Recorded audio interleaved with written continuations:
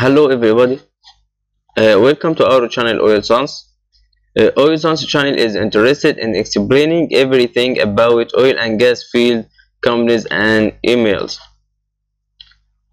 Today we will discuss about uh, roustabout job description and how can uh, you uh, do uh, as a roustabout.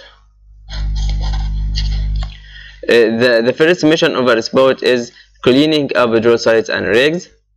Uh, one of the central duties of a roustabout is cleaning up drill sites and rigs uh, throughout the shift like hauling debris away from drilling areas and handling spills to prevent accidents and injuries. So why does the roustabout uh, must know uh, must clean uh, up drill sites and rigs uh, to prevent accidents and injuries. The second mission is to transporting and, inst and storing materials. Uh, roustabouts also transport materials to work sites and properly store them. So roustabouts must uh, know how to transport and store materials in a proper manner. Number three, install equipment. Uh, roustabouts also load and offload equipment and ensure proper installation like setting and welding pipe uh, and installing engines for drills and pumps. Uh, number four, repair pump equipment. Uh, uh, often need to conduct repairs on pumps uh, and related equipment to ensure a steady flow of oil or gas uh, and prevent leaks and other hazards.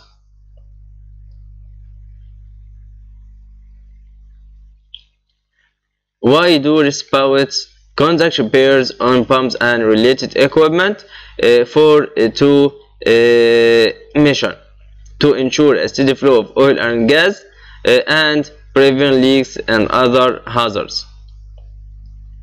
Number 5. Maintain drilling and extraction tools. Uh, roustabouts also maintain and repair uh, other tools and equipment used for extraction uh, like drilling equipment and tools.